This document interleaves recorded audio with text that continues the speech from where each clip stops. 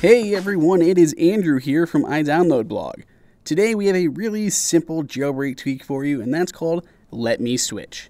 Normally, when you have multiple keyboards installed on your iPhone, so if I have several, I have WordFlow and Gboard installed here, when you want to go to those keyboards and you hit the globe icon, you only have the option to go to the next keyboard.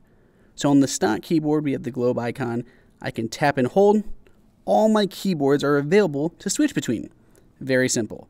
However, on third party ones like Gboard, I only have the next keyboard, so I can't jump easily to WordFlow or to the US standard keyboard. I have to keep hitting that next button and cycling through.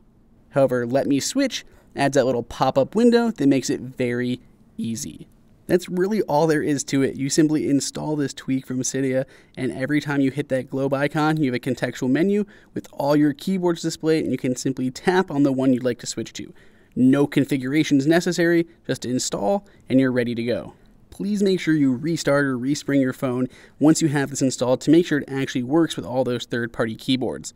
But other than that, you can pick it up for free from the Big Boss repo of Cydia. If you have any questions or any other comments on Let Me Switch, this really simple jailbreak tweak, let us know down in the comments below. Please go ahead and subscribe so we can keep bringing you more of this content. And until next time, this has been Andrew for iDownload Blog.